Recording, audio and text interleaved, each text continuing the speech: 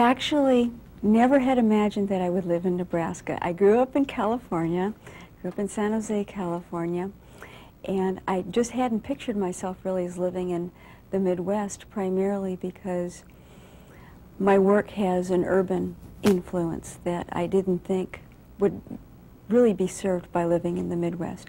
However, I became interested in coming here because Steve Barrett um, informed me that the English department had offered me a chancellor's doctoral fellowship, and so I came to pursue a PhD.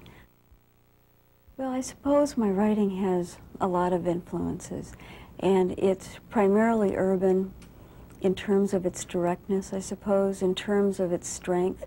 Some people would say in terms of its grittiness, but I suppose I also wouldn't define the urban quality as primarily the only influence because I conceive of myself as, as a romantic modernist poet, and that means that there's a kind of a fracturing of consciousness in my poetry that is modernist, but there's also an accompanying romantic level of vision in the work. And in that sense, though my work is gritty, I don't think it's necessarily tied to any one state. So I think that the landscape in Nebraska has influenced my poetry and my fiction, the openness of the, the spaces, um, the sort of psychological sense of erasure you get from, which sounds, sounds very depressing, but it's actually not. It's very inspiring. But apart from those, those aspects, I think that my work is driven by more philosophical concerns rather than concerns that have to do with, with landscape or with place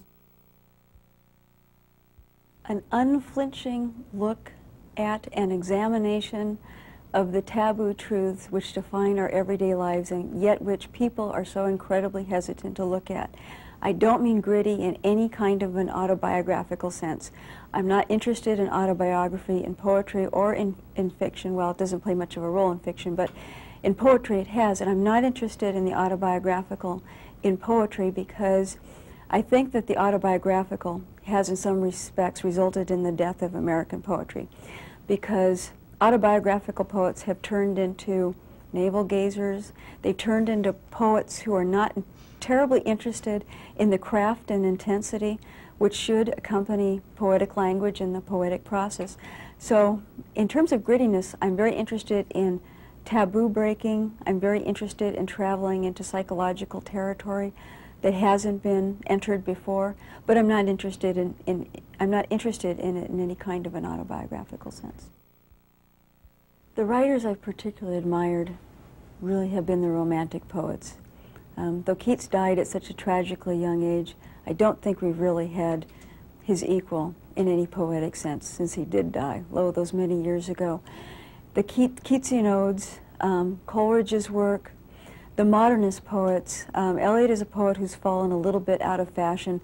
However, you cannot help but admire the grandeur of something like The Wasteland, which is an incredibly powerful poem built up on fragments, and yet those fragments achieve a kind of coherence, a kind of a depth of vision, a kind of a majesty, which I'm not sure really has been equaled in American poetry since then. I do admire some of the confessional poets, not Anne Sexton, um, who's a little bit journalistic, I think, in her techniques.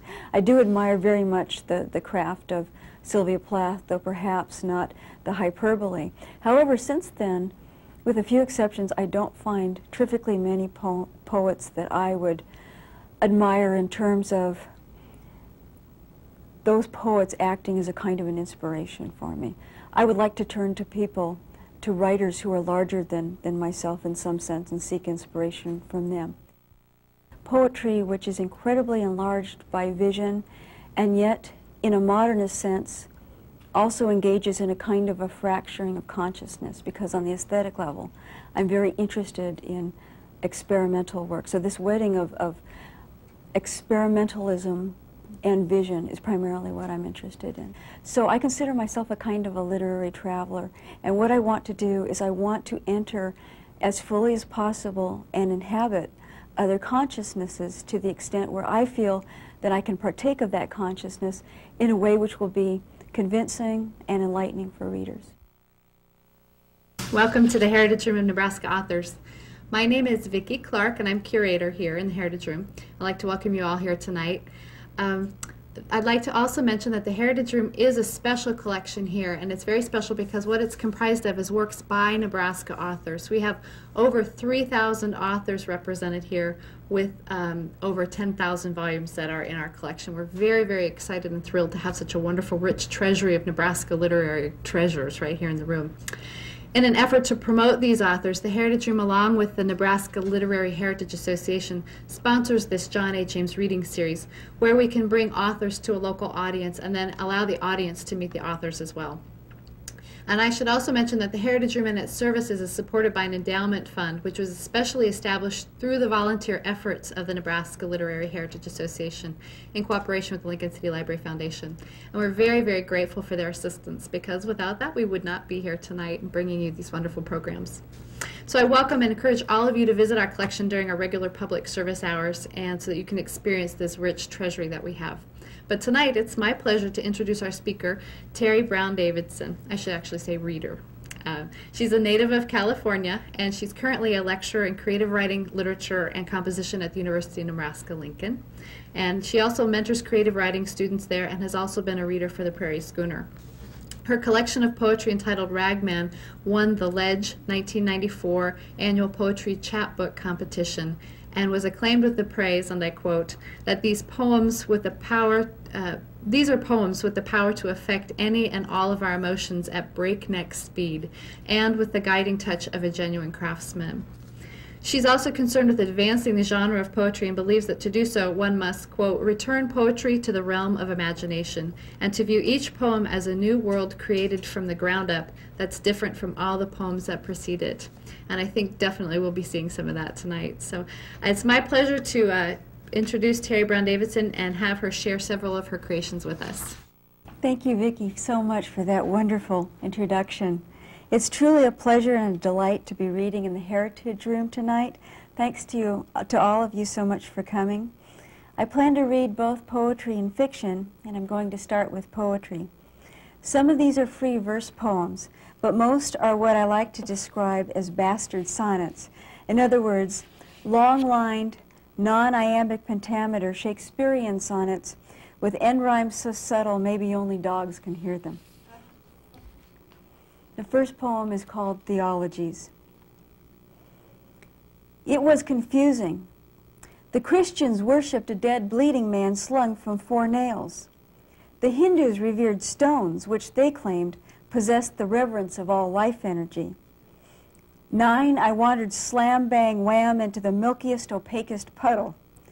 It had formed while I was jailed in classes, the rotting rainwater mounting, mounting, until the underpass floated crimson cars, until people strolled everywhere, senseless, stunned, water bleeding down faces, hoisted for mesmerizing downpours. In muck sloshing over my waist, bevies of pink worms escalated their drowning, spilled out writhing, cast by surging waves that flooded their membranes, smothered their skins breathing. Lost in my shiny gold boots, I thrashed observing their deaths. The dead man rocks, the ugly graying worms becoming split remnants. Nothing good arose from destruction. Yet there seemed beauty in worms, pink-faced as babies before their abrupt demise, in rock shimmering paler with slick glosses of rain, in the ungodly figure plucking me from deep water. Eiderdown quilt. I've never understood it, the desire for evasion. A child, I strode imperiously through my universe. I've been told it's a secret of genius, and I believe it. Van Gogh, cowardly in the throes of a wilder epilepsy, might well have fantasized about seizing that severed ear, tossing it into the ocean, sharks consuming the fist-sized ball of flesh with a bloody exhilaration. And if Toulouse-Lautrec had wanted to hurl himself downstairs, smash his crippled skeleton to bones, he could have. Art fragments everywhere. Amusing himself with the horror simply more appropriate. Redemption and claustrophobia, what artists understand. Not valuing the world's blackened mindset, they delve inward, seek out primary colors, the sexual ceruleans, vermilions of the self. Wrapping myself in an eiderdown quilt, I prepare not for sleep, but for hibernation, dipping into my psyche until my canvas rises bleached. At night, loving myself with both hands, it's my energy I celebrate, raw twistedness, its epiphany. Blankets. She folded me and whispered, My mother just died. I tried to feel something suffering, empathy, anguish, remorse. My mother was lying on a bed, her head slightly elevated, thin body disappearing under mounds of blankets that couldn't warm her. When I pressed my fingers into the center of her palm, papery veins pulsed watery blood. And to confront the fact of her death was too disturbing, perplexing, wearying. I wanted to stay a child forever. My mama wouldn't let me. I'm sorry, I murmured in mock dark tones to my struggling, weeping friend. She didn't believe me. On my first day of first grade, I was appointed to retrieve the cardboard Dick and Jane from the front of the classroom. How reverently I carried them, Jane in her glossy red dress, gazing up at me with a face that shone pure paper happiness. Dick in his natty navy cardigan, morally excellent, decorous, his face a white spot of scrubbed splendor. Very good, my teacher murmured when I deposited them at her desk. She was 27, massively obese, her fat calves crumpling when she shivered her bulk from building to building. Seven, I believed death and hell were synonymous. And when I heard the second week that she'd passed, I became morbidly concerned with details, imagining the fat, crass body splitting open to maggots before they lowered it into the ground, the mysterious Nebraska earth sprouting shimmering frost in the deadest of winters. You're stupid, he cried. He nearly a baby, but I believed him. Lust cracking open my breastbone, thrusting itself through my pores in thickening threads of heat. And so I trailed my inamorata into the music building where he slid into the first pew-like row, slapped his book music open on his lap, deliberately dropped a pencil. Fascinated, terrified, I watched the pencil perform its slow motion roll across the classroom, delicately paused by a student chair. Get it, he murmured. Pick it up, you jerk, then licked the floor. I gazed straight into his eyes, which shone suddenly opaque. Mesmerized, shuddery, I fell to my hands, knees, on the cold linoleum crawled. Around their calves, around bobby socks sliding sloppily down girls' ankles, around boys' pant legs pressed seam-sharp gray or more drooping tired, as if exhausted mothers couldn't iron them. Crawl, he urged, and I did. My knees stickier sore, my back so bowed a saddle could have straddled it, the laugh sliding higher, sibilant or sharper, my vision of maggots, dirt, my teacher's coffin accreting so quickly through a landslide of images, her stiff face, stitched closed eyes, the pallor of her skin and chin and mouth bespeaking death, that I understood when I reached the pencil finally, gripped it between trembling fingers, that the loss wasn't my teacher's, her mother's, or even my own, that it crushed all of us in every passing. Books. I tasted them too the fat azure binding of a tale of two cities satisfyingly waxy, war and peace unsucculent, flavored lightly with mold from the trunk of my mother's car. When we moved, the books glowed richer after dark. Tiny, mesmerizing night lamps we huddled around staring, older since my father's death. The quick succession of cities, alleys, soup kitchens crammed with shoving, sweating strangers, my hands wrapping fists tighter around Mama's knees. But the books were always waiting. Good Christian fun, my mother described them, stuffed dust gathering or wistful into cardboard, obliterating them for hours while we braved that universe of new despair. And when we returned home, the crinkly government check folded in Mama's fingers, the books awaited us opened, banishing our fears of ignorance. Their plump leather covers, silver cerulean blood red emerald, adorned our gray peeling dining room like a mixed flower bouquet. And when we woke, before black bitter coffee stirred us to sentience, they did.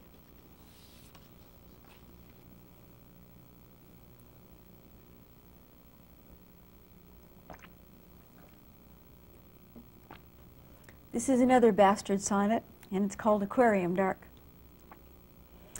It was the jars you needed to see first, the bursting brown brains belonging to Doc Ricketts' lab, the sewagey mess prickled in brine, until huddling in that green aquamarine gloom, we couldn't separate pain from any reptilian ecstasy. Mindful of what we determined to become, a unit devoted to intimacy exploration, we planted ourselves in tired body waves before the giant yellowish kelp beds, those 50 foot weeds detritus shedding, undulating for the duration of several breaths. I don't want to believe love ended that day. If the gathering blackness split by roiling light was any indication, others endure similar turmoil. The human mind, entranced by process, yet shallow in its apprehensions. Beauty, idealism, discovery. Plato plumbed our distaste for verities quintessential as deeper need.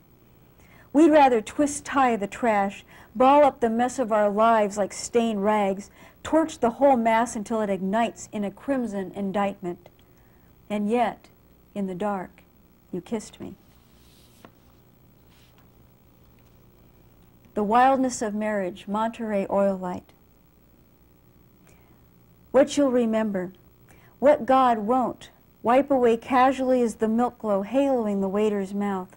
A baby waiter dipping chicken garlicky in butter and sauce on some impeccable white plate, the whole thrust towards you, so how could you refuse? The shrimp dipped in batter, frying golden, crumbling to shards. Muck on your fingers, the sweet grease I study in oil light yellowing your face. Eating, devouring, as we swallow and are consumed. Aristotle clearer than endearments we chant by rote, the Nicomachean ethics, how those who rejoice most fiercely in life are most devastated by death. You can't know love, what I think, feel, remember, pray. Consume more than a glassful of clear gold beer and crumbs suck under my tongue until dissolved. And if we speak of weather, a gold wash of dust shading to purple, weighting the coastline like a cloud expanding until it lavenders to a stretch of glorious Elysian gray, we taste this inconsequentialness, laugh while the darker half of my mind dissolves, shrugs itself away, though you're here, always, inside it, as it floats me out beyond the gut baying sea lions, beyond rocks that can crack bodies to the merest remnant of bone marrow. Inside it, while blue black waves roil and I disappear beneath, breath pulled aching tender as a baby from pink lungs. And if I drown, it's inevitable. I've rejoiced most fiercely. But Aristotle didn't understand the horror of some relinquishings. In pursuit of self perfection, in tracking the moral life, the shell of even my ego can crumble between trembling fingers. And Aristotle couldn't understand, perhaps, the beauty of this life design.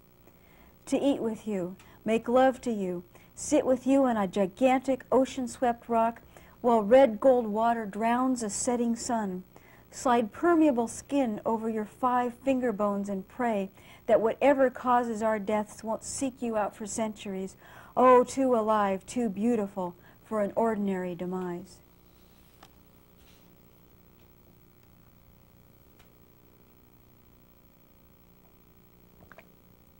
Okay, now I'm going to read um, a few more biographical poems. A sonnet about Charles Dodgson, also known as Lewis Carroll, author of Alice in Wonderland. A long free verse poem about the painter Georgia O'Keeffe. And two sonnets about St. Bernadette Soubirous. The Stammer. This is the poem about Lewis Carroll. Torture is to conjure that Dodgson, his sodden face lit by the smeared window he peers through, Alice Liddell fleeing gaunt-legged across a lawn set up for croquet. No loopy flamingos there, hedgehogs unfurling in stiff bristled apathy. Just the dark-haired child drawn from imagination more forcefully than from memory.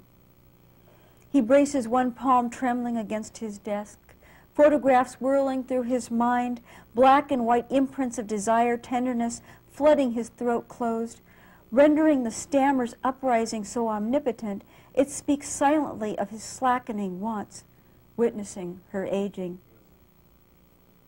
But if the world crowds in to accuse him, Only he senses how powerfully some mechanisms grind their rusting gears, tempt him into a cage of mathematical improbabilities, limiting him to glimpses of a dark hair cap shining in riverbank sun splashes, urging his shaking hand to reach for what he needs, then precipitously yank it back, the stammer taking him over more shudderingly than orgasm. The woman who would be O'Keeffe. She can't move, scarcely an inch. The only artificial limb, her mind, which freezes here, keeps her leaning against a royal blue armchair, its ragged white star sewn perpetually into fabric her thoughts will never penetrate.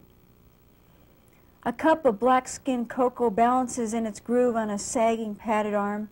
She sips it as she reads Emerson's Nature again, though the cocoa hours thick remains impervious to her sipping. But if she lacks nourishment, she won't find it in this essay, Emerson's platitudes about Godhead more irritating than replenishing, though age hasn't fossilized her. 81.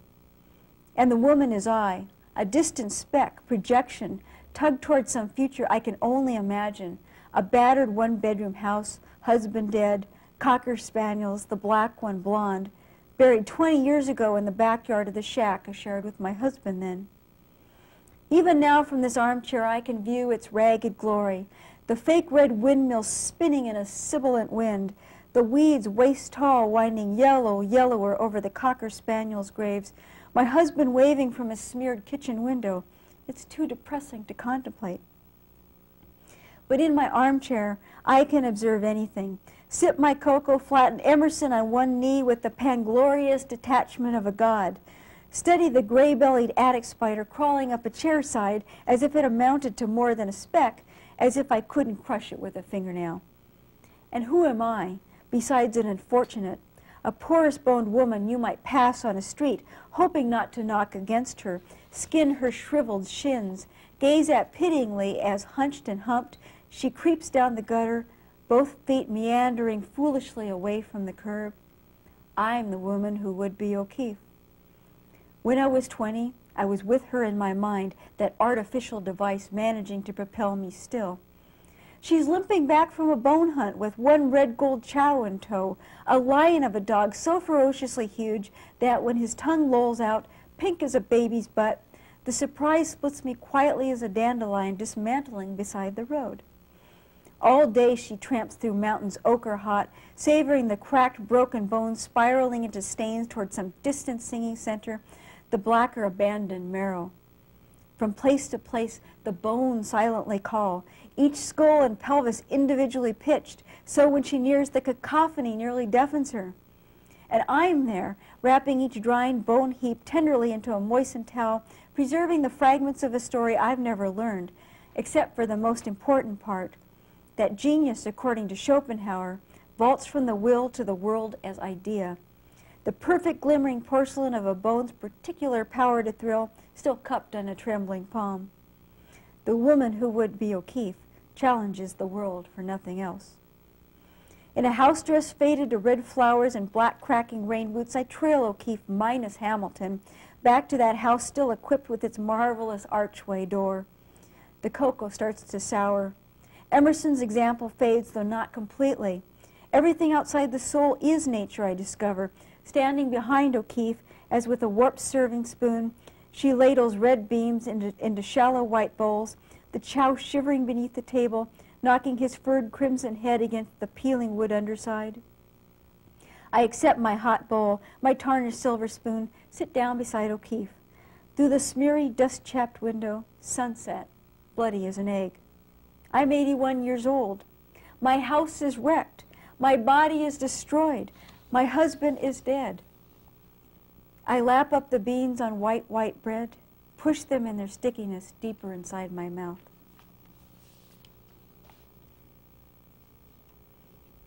And these next two poems are about Bernadette Soubirous, Bernadette of Lourdes, a modern Bernadette. And if her mother was confined to her bed, if her job at a paper factory sank rot into her bones until that striated marrow stank, until shriveling atop a stained mattress, she castigated nights, a broken tiled ceiling, the act of spooning cereal purposeless, unprimordial, since she'd glimpsed a lit vision through blackening branches that had made her heart shatter, then, whole, leap away like a whitened roe. I knew better than to question her pain. Striding that green-yellow enchanted realm, I sought what she sought, suffering having toughened, having toughened me until my bones wouldn't snap, though hers would in a flash, not fragile but calcified, too beautiful, until I sensed beneath skin how they shimmered like dipped milk, grand as Our Lady, white-cowled and hovering in sheets of gray rain, as Bernadette's racked face transformed by Christ's pain. The spectacle of Bernadette Soubirous in her casket. It's an obscenity, maybe. The way crowds circle her casket, gesticulating, praying, as if that still dead body empathized with pedestrian pain. I know she's a saint. Yet I madden at any small hand threatening to press against glass, deriving its radiance from a spiritual suffering. Even dead, she possesses grace. I know how she died. The vision, searing red lights, the calling out to the Virgin to comfort her when silence, yawning wider, ached to swallow her, fever striking her white cold in waves. Her falling into a hole where black, thick mud shoveled atop her bones was the nightmare she woke to daily her death hovering around some corner nuns passed, stiffly praying. But if death is a sadist, does weariness signal submission? She wasn't a masochist. I want to cry out to all sentient crowds. Wasn't your Christ? Relinquish her, de-elevate her, forget her forever, and let her decay.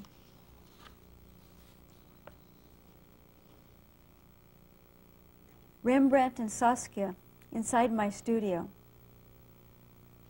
It's true. Stepping across shards of the plaster head I've dropped, I'm pissed off at all the women whose musedness consigned them to nothing. Ayn Rand said it best, paraphrased, let those who would lead lead, a pox upon the rest. And this morning I feel it, though fragments of the slightest shattering still crackle underfoot, the messes swept up from yesterday, the process so perpetual I never know where I inhabit it. Unlike Rembrandt's, my paintings shine like starbursts, yellow daisies splash purple raw, roses ghosting their centers, the magnified genitalia of O'Keeffe's black sheen pulpuses wiped from art's memory by my gargantuan floral clitorises.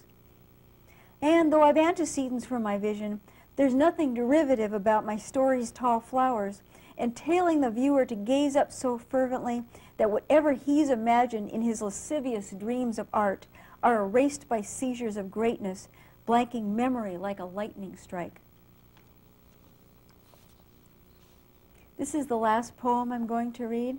It's called I Want to Be a Crow, and if you hear punning echoes of Greta Garbo in the title, that's perfectly correct. I want to be a crow. When the tow-headed boy appeared, knees worn to scraps on tight-fitting blue knickers, I sensed he wasn't real, but something mystical, quietly glorious, a figment worthy of devotion. He approached negotiating the sculpture and collages aisle, thumb thrust up to the knuckle in his slow-breathing mouth. I want to be a crow, he announced when he arrived, stooping to straddle my knees, wholly themselves and bony through jeans. I want to be a crow because they're bigger than me almost, and they can fly. I want to eat garbage and crust from white bread and live in a dumpster with a propped and rusty lid and scare people away when I dive at them because my wings are strong as eagles and my eyes they gleam so black. He paused, withdrawing his thumb with a succulent pop, and when he spoke again, his words shone so clear they glinted eerily translucent. I know what you want, he murmured too brightly. I seized his left hand almost violently, kneaded the fingers like warming sumptuous dough, again, again, again, until skin slid over bone, afraid to utter in that innocent, mysterious presence what I craved from my white ribs to the inner depths of my skeleton, which was this and simply this. To become a woman abruptly for days, then months, then years, to savor the slow rising progression of my hands, hoisting me to a brightness godlike transcendent. So I could gaze through the windows my eyes had become, watch near azured sky cloudless spread out and out around me for miles, knowing in that single sensual upthrusting act that my mind had joined my body, that both of us were soaring and miraculously intact. I do know that when I'm writing, I have this sensation of inhabiting um, a different consciousness, another consciousness, and that kind of vicarious thrill that's attached to the whole experience is really a, a, a charge that I live for. Some students come into my classes with a sense of having their standards already lowered. They don't really expect much of themselves in terms of writing. They don't really expect to push themselves very hard in terms of writing. And my approach to them is set your standards as high as possible. Aim as high as you possibly can in terms of your personal goals because to me it makes absolutely no sense to aim anywhere else.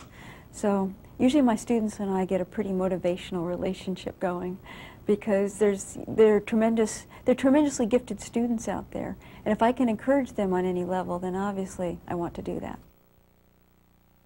My students I think really have to, to go a kind of a, an immersion process before they can become the kinds of writers that they, they want to become. In other words, I, I do get a lot of students who are aspiring writers, but they don't read a lot. And obviously, this is an incredibly symbiotic relationship that's going on between reading and writing. So I let them know right away that they have to, to read. Just read everything. Read, read terrific literature, read poorly constructed books because that can teach them something too. Read novels, read poetry, read nonfiction, read creative nonfiction. And I think that once my students establish the sense of discipline, everything becomes a lot easier for them. But motivation is always internally generated. And I think that you have to find spurs in your own environment that will, apart from the words of any instructor, that will enable you to achieve your goals. My writing process is pretty much that I like to generate rough drafts without an outline, without a lot of conscious thought that will go into them in the beginning. This gets a little bit tricky when I'm writing a novel because essentially I'm flying blind through about 600 pages. But after you complete that initial rough draft, things get to be a little bit easier. I try not to have any rigid sense of story when I'm writing anything because I find that very inhibiting. So often I'll begin with a phrase, a snatched phrase, an image, a title, rather than something completely thought out uh, through to the end because writing is such a process of discovery that you're really cheating yourself if you don't allow yourself to, at least in an initial draft, go through this process all the way through to the end. Writing residencies are truly wonderful because they enable writers who don't have a lot of solitude, who don't have a lot of privacy in which to complete work, a little space of time, usually a month, usually two weeks, to pursue their projects in a fair amount of, of solitude um, at writing residencies, the writer's basic needs are pretty much taken care of.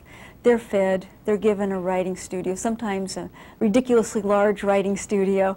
Um, you know, their, their, whole day is structured around the writing process. Most writing residencies, um, such as Yaddo and the Millay Colony, have an enforced private time where the writer is actually not allowed to speak to anyone during that, that time because the writer is supposed to be intensely engaged in the process of writing. Usually that time is, is 9 to, to 4 in the afternoon.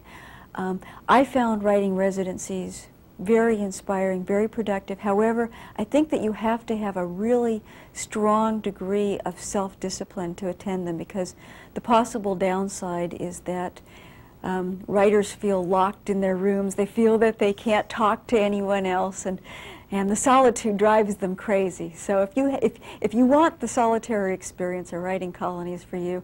If not, it's probably better to struggle on with your own life. My pursuit of greatness, which sounds so egomaniacal, and it might be on one level, but I don't completely mean it um, in that sense. It's, it's a very individual kind of goal because I think that American culture has primarily lost touch with a sense of greatness. To recover that, I think you really do have to go back to the, the romantics and the emphasis on the individual being somewhat godlike, and of course, a smaller sense of that word. But if you're writing primarily to publish in journals, if you're writing primarily to network with other poets, if you're writing in a therapeutic kind of way to express yourself, and if you don't have an incredibly large sense of what it is that you're trying to do, then I don't think that pursuing greatness or even a really high level of achievement is probably a possibility. What I would like to do is I would like to take all the elements of poetry and romanticism that have been abandoned. I would like to resurrect them. And in a sense, I like to play along the boundaries of old forms, but I like to fracture them in a modernistic sense. And really what I would like to do is something which hasn't been done in American poetry before. I would love to give audience members a vicarious experience that they will never forget and that on a really broad scale could possibly transform their lives. One thing that I've discovered along the way about American culture is that it seems incredibly closed down in some respects. And I would like, through the beauty and the possible power of language, to submerge readers in an experience that is so alien to their being and to their consciousness, and yet is so familiar on some level that they will follow me on this kind of a literary journal, journey that I am laying out for them, and they will be somehow changed in the process. That's a very ambitious goal, but again, why should you aim low? My novel uh, in progress entitled Marie, Marie, Hold On Tight. The title of the novel comes from what is usually termed, what is usually described as the most trivial aspect of Eliot's The Wasteland and I'll be reading a quote from that um, during the reading. Um, this novel is about um, a young girl who is an extraordinary painter. Her gifts, in some sense, rival Frida Kahlo's. She's just exceptional in every way you can think of. However, her past is dominated by incredible layers of secrets which continue to haunt her. And these secrets have resulted in her current strained relationship with her mother, and there is an infanticide um, in her past, and the roots of this no one's been able to determine. And so it's a novel which is built on mysteries and secrets. I would like to read an excerpt from my latest novel entitled Marie, Marie, Hold On Tight. The title is taken from The Wasteland, and the lines that surround it are often referred to as the most trivial parts of the poem, and I would like to read those lines for you. They are lines from Eliot. Summer surprised us, coming over the Starnbergersee with a shower of rain. We stopped in the colonnade and went on in sunlight into the Hofgarten and drank coffee and talked for an hour. Bin gar keine Russen stamm aus Litauen, echt Deutsch.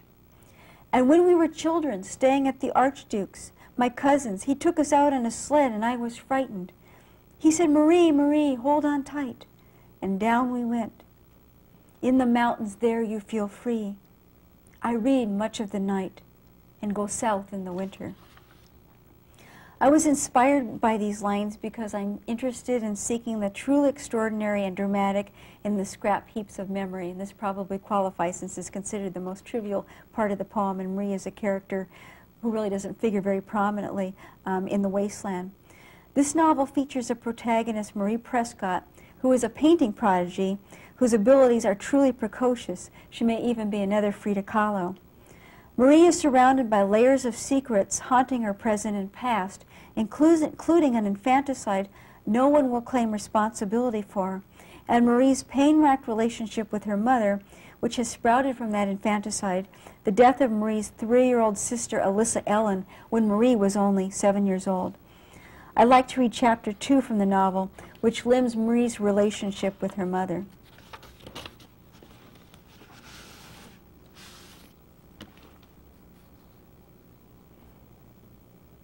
My silence is inviolable, as is the moon's, a wild burning golden toy, child's ball rolling across white wet terrain when I crackle damply through brambles.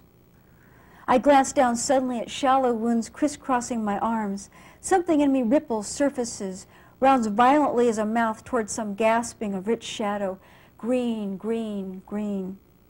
Fumbling, stumbling, I reach up to grab a palmful of moon touch rain-blistered sky before my fingers swing down to grasp, snap, tear a branch.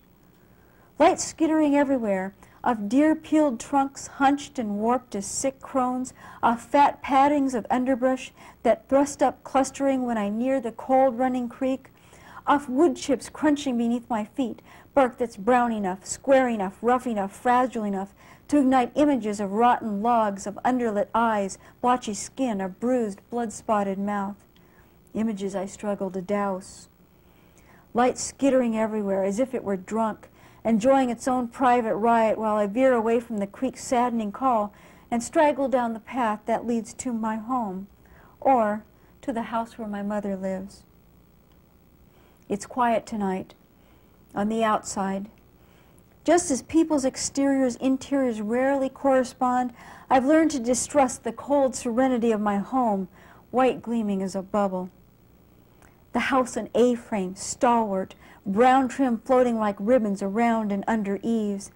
The house white and so very ordinary except for its rigidities, suggesting a subdued opulence that implies money, though we've been dead broke for years and its location, set a half mile back from its more suburban neighbors in this black-shadowed thatchet of woods that sings near silent songs of wildness other, more discreet houses appear never to hear, that I wouldn't even notice it if I weren't forced to live here, if I weren't so familiar with the concept of irony that my very bones embodied as I creep up the porch toward the door, ease my body inside.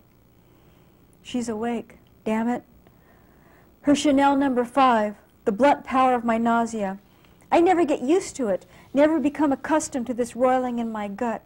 Gliding into the dusky pink kitchen, I listen to the chirring of a sad trapped cricket that's wandered in from outdoors and will remain here until its song deserts it, until it crumbles to shell, then disintegrates to powder. I advance through the kitchen aglitter with wall-mounted pot skillets, green and blue lacquered pans, slick shining knives. At the end of the kitchen, I turn right into the living room, where she's sitting in her rocking chair, awaiting me. My mother embodies more perfectly than I can articulate the secrets of this house, its suffering, as if home were a beautiful woman exquisitely dressed, secreting menstruation-stained underwear she hasn't changed in weeks.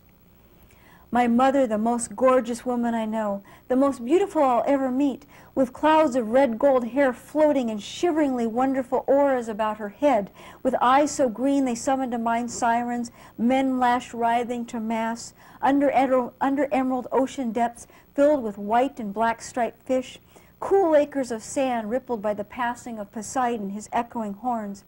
With lips so red naturally for my mother dons never a trace of makeup, that men glance once at that scarlet ripeness and trail my mother from the crackers and cookies aisle of Super Saver, longing for her to notice them, though she never ever does. Disconsolate as orphans at the checkout line when she pays with her visa or whatever crumpled wad of bills we have on hand, bags her groceries without glancing up, then abruptly leaves. These men study her as if she were Da Vinci's impeccably cold Virgin of the Rocks, yet never dare whimper in her direction, not even when she shoves her rattling cart out through smeary double doors into a splash of hot sun that ravages her sensitive eyes. For reality is the sworn enemy of magic. That's a lesson I absorbed with the milk from mother's breasts.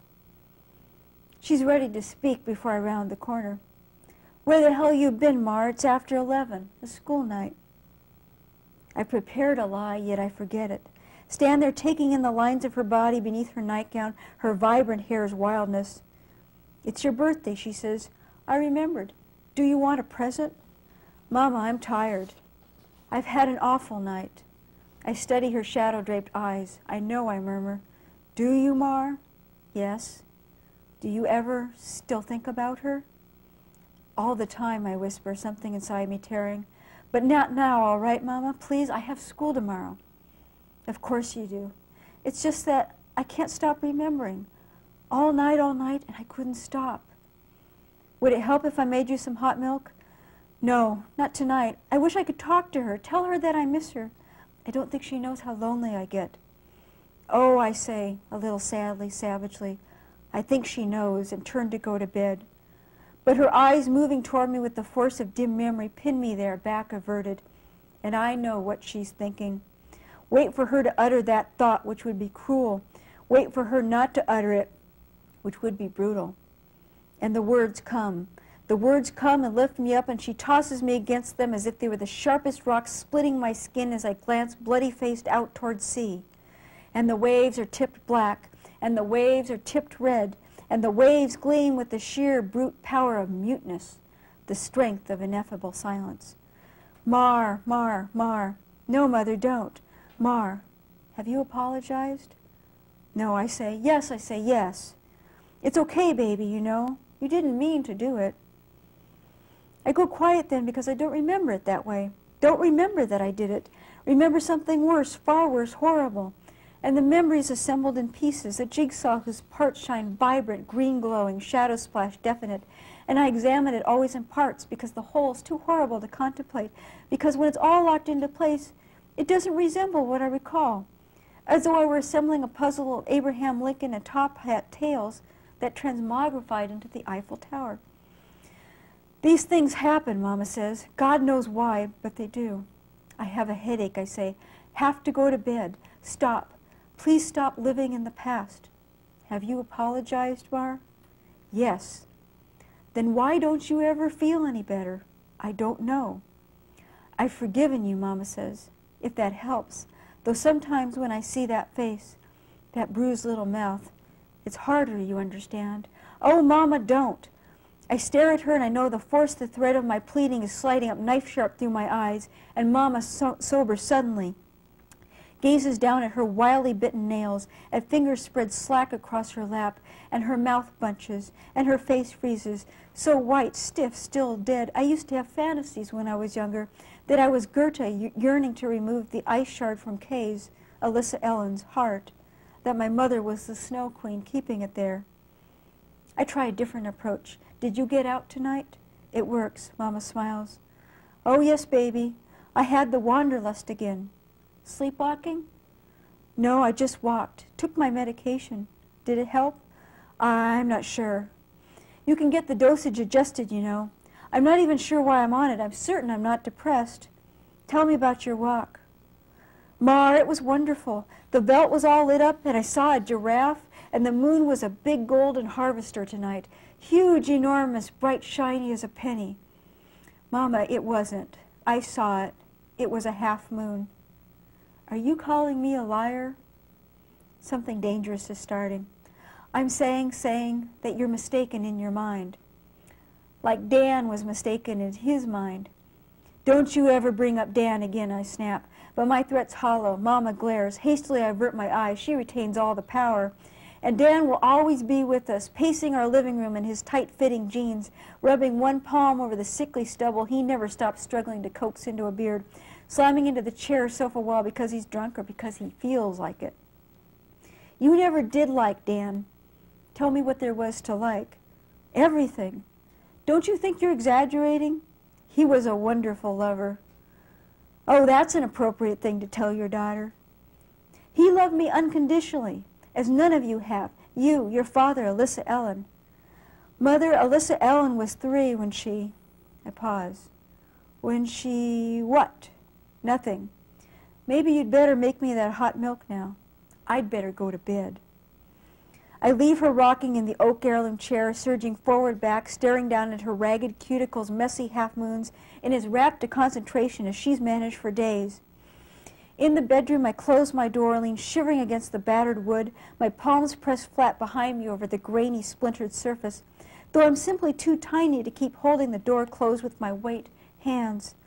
Still, it's comforting to sway here intact, as if my physicality could be a bulwark against nightmares swirling up, ghost-pallid, trembling, manifold, manipulative, though it's only the moon, shedding its thick, irreverent whiteness over the length of my body, my eyes blanking with afterglow, a light that nearly makes me shudder in its intensity. This visceral reaction, what will render me an artist someday, as Dells reassured me again, again, again.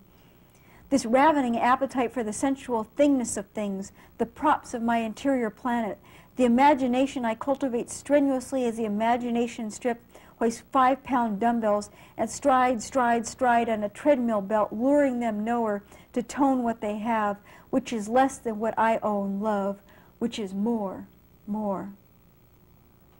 This is what I possess.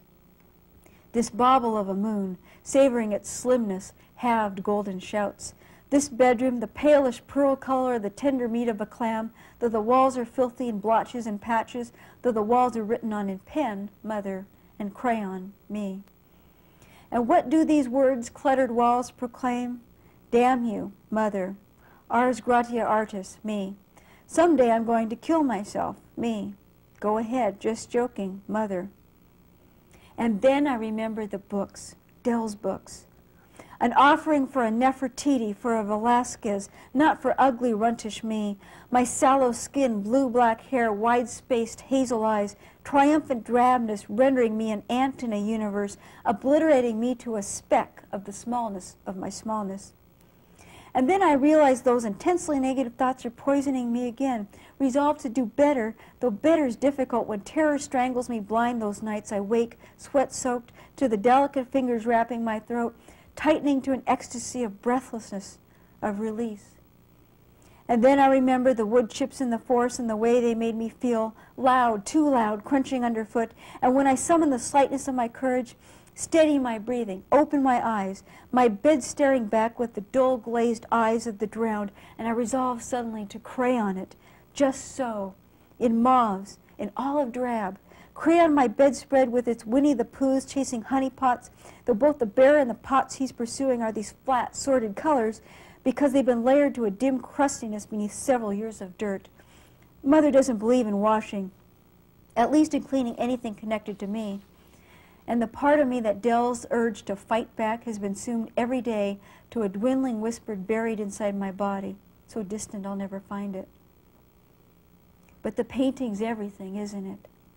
The painting's what might, someday, save me, though even hope is a mirage sometimes, or a platitude. I close my eyes tight. Red-black floaters drift against my lids. I'm dreaming of the books, and Rembrandt surged through my mind as a series of spotlighted ghostly faces.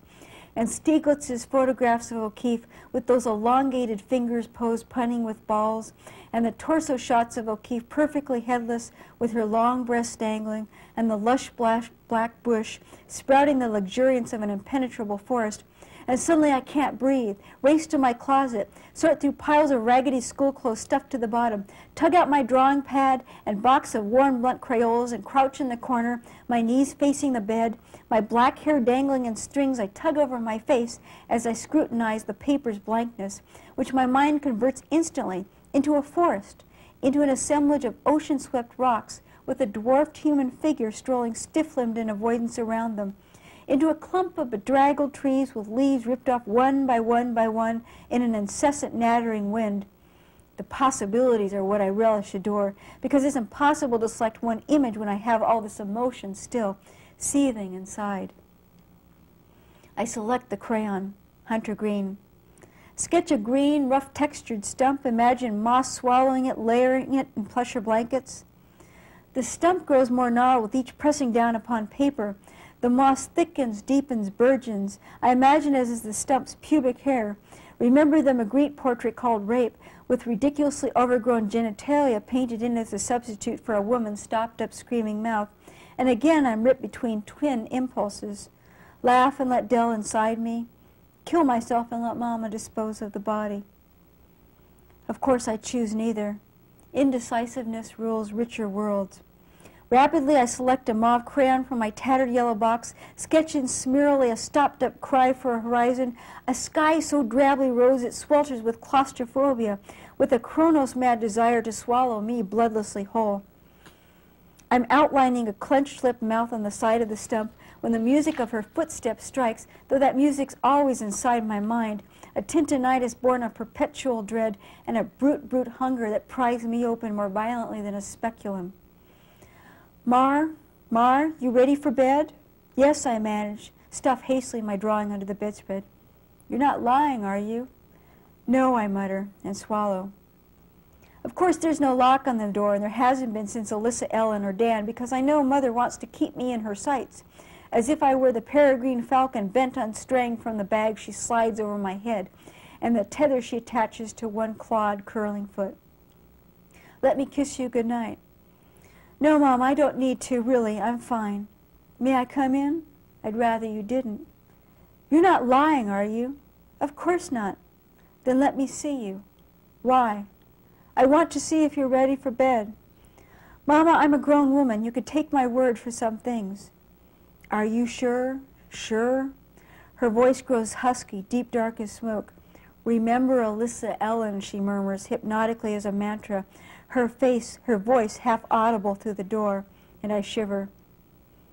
She comes in then. She comes in because she's my mother and I'm her daughter and she's entitled. Enters with that incredibly stagey glance I've come over the last two years to loathe. Before, she was more honest, blunt in her requests, needs, desires. But time has muted her strangely, opaqued her with the skin of subterfuge, trickery, manipulation. So when I gaze at her sometimes, I see only the gauze, the thick tissue wrapped around the woman I used to know when Alyssa Ellen knew her too. And after the change, I still spotted shimmerings, rich but translucent as a blast of blue sky after days of an, of an obscuring rain. But then the shimmers went away quietly as Alyssa Ellen's fists reaching up to tug Mama's hair into her mouth. So you lied, Mama says, swaying with the odd posture of a woman with a back problem, though she's perfectly healthy. Her nipples lift the whisper fine front of her nightgown. You haven't even changed. No, Mama. Well then, why? It was just less complicated. You can't sleep in your clothes, baby. You'll get them all wrinkled, soiled. As if my clothes are ever cleaned, as if my clothes are ever pressed. I'm exhausted, so I thought I'd just sleep like this, okay, for tonight. No, baby. Please? No. Why not? Because it might become a habit, a habit born of laziness. And then you'd always want to sleep that way, night after night after night. And then you'd get so you'd never want to change your clothes at all. I wouldn't, Mama, I promise. It's all right, sweetie. I know you're tired. I'll make it easy for you this time, okay? I'll help you take them off and I'll help you put your nightgown on, and then you can sleep straight through till morning. No, Mother, please, I promise. I'll do it only this one time. Mother's face grows sad then, so sad I want to reach out, cup that exquisiteness in the cradle my thumb and index fingers might form, stroke the lavish satin of her skin until her anxiety flush fades as she's the virgin of the rocks once more, white, impenetrable, splendid. Don't you love me any more, Mar? Oh, Mama, of course I love you. Then let me help you. I close my eyes then because it's inevitable, and I let her undress me. That's it. Thank you very much.